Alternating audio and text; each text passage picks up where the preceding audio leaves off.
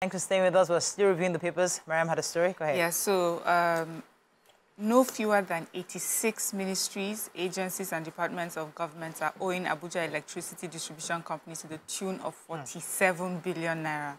Mm. The management of AEDC says the presidential villa owes the disco the sum of 923.9 uh, million naira. National Security Advisor owes 95.9 billion. The Ministry of Federal Capital Territory being supervised owes the sum of 7.57 mm. billion naira, mm. while the Adebayo Adelabu Ministry of Power is indebted to the tune of 78 million naira. Hmm. See, uh, the ministries, they've listed them Welcome. billions and billions and billions no, of naira. They said that, uh, let me read here, it says that they have, they said this long-standing unpaid, unpaid bills for services rendered to them through that they have been working, trying to work with the ministries and departments mm. and agencies over a long period of time to see how they can resolve this issue, pay up the bills. They said to no avail. See, they are threatening to disconnect them in 10 days should they fail to pay up their debt. Mm. So they've given them a notice and they said after the expiration of 10 days from Wednesday, the 28th of February, they will embark on disconnection of services to them until you know, they pay up their debt and then they go ahead to name yeah. all of the MDAs that owe them money. I'm happy like, they came to the newspapers for this. So, yes. It's so embarrassing. You know, and you hear all the time they're subsidizing, they're subsidizing, but you, the main people, you are not even paying them. So that's why, that, that is why they are cutting our own throats. Ah. To make up for all the debts that, you know, they have been unable to get so back. Nigerian army and their barracks always owe the discos. And they don't dare go and cut their. Okay, the, the organized labor on Monday began mobilizing its members for a nationwide uh, protest slated for February 27th and 28th. Sources at the leadership of the NLC uh, told the correspondents at The Punch saying that they are, um, they are going to go ahead because until things change, they plan to go ahead with the protest planned uh, for those dates.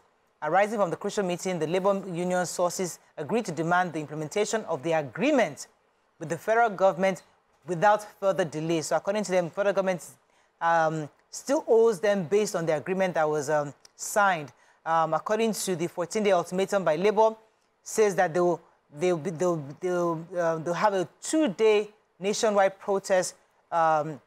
I thought it was because of the hardship of the subsidy removal, but it was actually more about the fact that they are not, um, the government has not um, pulled through on the agreement that was already um, signed by both parties. Uh, I told one of the correspondents that the protest would be held as planned and agreed at the meeting. Uh, said that they have no reasons to back down on this protest until things change um, from the federal government's angle.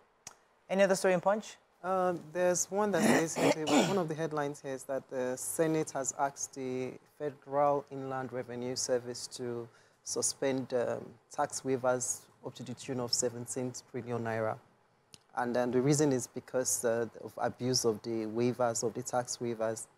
The chairman of the, the, Sen the Senate through the Committee on Finance has uh, told the FIRS to, to um, sorry, Basically, what they are trying to say is that the projection of 19 trillion naira as the total tax collection for 2024 is good when compared to the 11.16 trillion achieved in 2023. Right. But that the Senate believes that the FRS can do more to the tune of 30 trillion naira if those waivers are, mm. you know, put aside and collected. So they're also asking that, you know, the, the FIRS substitutes waivers with a rebating system. Yes, mm. exactly. Hoping that that one will bring solution. Okay, very quickly now, Daily Sun, anti-government protest shakes Ibadan. Mm. New Enugu City, no homes demolished, land grabbers creating problems, says government. UK, Nigerian parents battle to pay school fees as exchange rate hit, hmm, I can't even say the Naira. The equivalent. I can't even say it. Hit over 2,000 Naira to the dollar. Yeah. Tinubu back in Abuja after AU summit in Addis Ababa. Plateau Governor PDP chairman condemns killing of APC spokesperson. Hepatitis kills 28 in Nasarawa. Lawmakers urge governor to declare state of emergency. Government abducts corpse. Family members in Enugu demand 50 million naira ransom. All theft. Navy uncovers 14 illegal bunkering sites in rivers. And I won Edo APC primary with over 6,000 votes, says Okpebholo. Which story are we starting? So the, one of the highest beneficiaries of the subsidy or difference usually paid on dollar by government are Nigerian students and uh, Nigerian parents whose kids are in high institutions in the UK are presently feeling the heat. They're saying this all-time high of 2,000 plus um, of dollar to the pound is affecting them. Presently, UK schools have not increased their fees, but they have already have a felt increase because you know they have to source dollar uh, pounds at that higher rate, and um, they have different parents' accounts on the story, and uh, you know practitioners in the business who are also trying to get UK schools to stay school fees at their present cost. But I'm thinking, so all the pounds we've been subsidizing for schools, because you know when somebody goes to UK and come and say, what did Nigeria do for me? Remember that your parents paid subsidized pounds for you mm. first from here. So mm. now that we can no longer do this is how Nigeria did something for those who have benefited in the past. Mm, that's another way of looking at it too. That's a major way of that, that, that's, that's, a hot topic on its own. Mm. You've been subsidizing, so those of you who school abroad, have been going. subsidizing your fees. You've been subsidizing your school fees for you. Because you, you take from here. Everybody's, hmm. that's some deep stuff, man. Yeah. Yeah, let's move on. Uh, hepatitis, um, there's an outbreak of hepatitis in Nasarawa State. Um, this was brought to our attention by uh, Musa Ibrahim, who is the representative of Doma South constituency, um, where, where the AK development area is situated, and that's where 28 people have died from the outbreak of hepatitis. And they are asking, so there was an important um, session at the um, State Assembly where they are asking their governor to declare a state of emergency, you know, as a result of this um, um, deadly disease. Um, and um, this story is just saying that the motion is being supported by everyone and also the speaker underscored the necessity for prompt action, saying a state of emergency should be declared on hepatitis and other diseases in the States. I know that um, hepatitis, this is a serious disease. People would describe, in fact, medical uh, personnel have described it as worse than HIV. That's in mm -hmm. the mm-hmm. way that it is being transmitted, you know. So this is, is, is a serious case, and I hope that we're able to quickly um, resolve this and put up all the necessary um, interventions to curb this as soon as possible. Okay, so let me take the major headlines. So, um, scores of angry youths um, yesterday hit the streets in Ibadan um, in protest, especially to demand urgent action from the president uh, as regards to cushioning effect of the unbearable living conditions caused by the rising cost of living, food prices, which they describe as a full-blown hunger crisis. The hardship tag and Nigeria Hardship caused gridlock in many parts of um, um, Ibadan. Um, though the protest was quite peaceful, uh, there were lots of chants, being power, and, those, and, and people were just going on and on. The agitated youth kicked off the protest at the popular Mokola uh, roundabout amid heavy security presence to forestall any breakdown of law and order. It was quite peaceful for hours. Vehicle movements were going, were halted and, um, and reduced throughout that, that entire environment.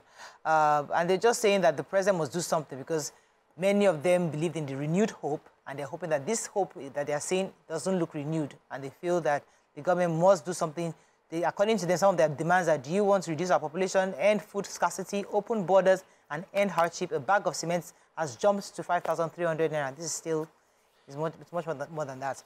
Okay, moving on now to Vanguard. Forex crisis 2024 budget suffers major dislocations. Wale Edun Cardoso SEC management, management team visit Wigwe's parents. FG cement manufacturers agree on 7,000 naira um, for 50 kg bag. Edo 2024 APC Youth Women take over Secretariat one sack of SWC.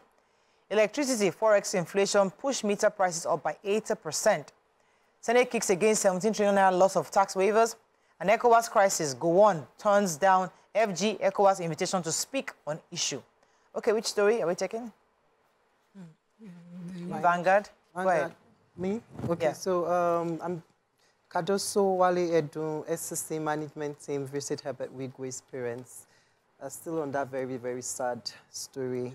The finance minister and coordinating minister of the economy, Mr. Wale Edun, the governor of the Central Bank of Nigeria, Mr. Olayemi Cardoso, and the management of the Securities and Exchange Commission, SEC, yesterday visited the parents of the um, late group CEO of Access Bank, Herbert Wigwe, who died recently, uh, along with his wife, Doreen, and his mm. son.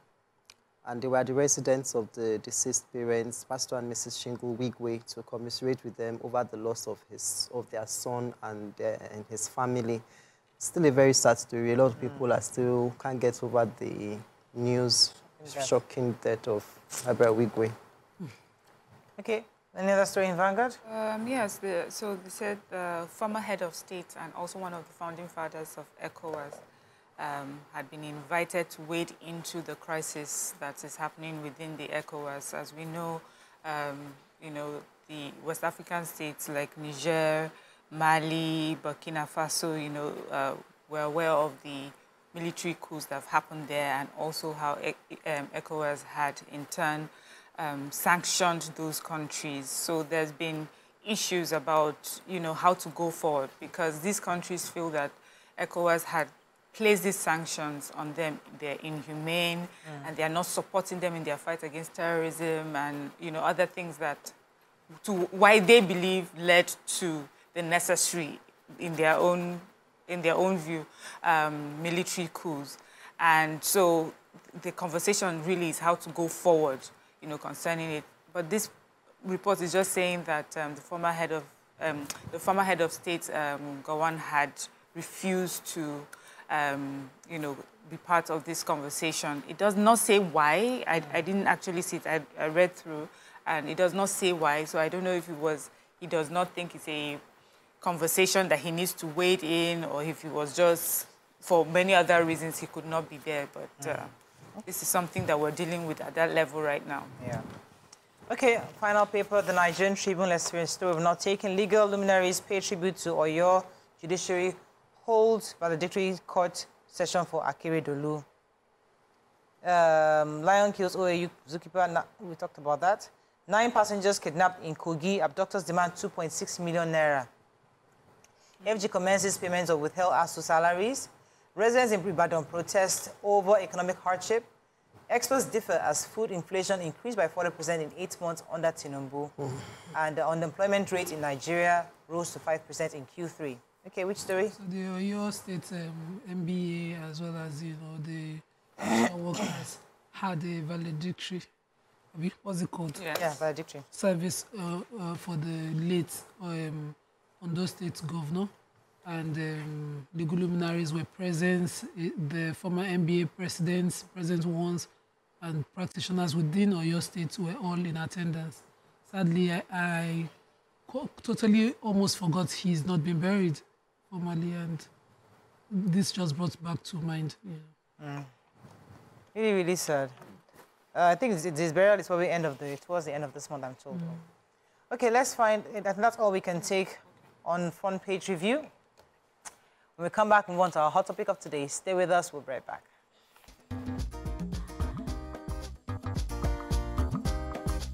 Stay tuned. Your view will be right back.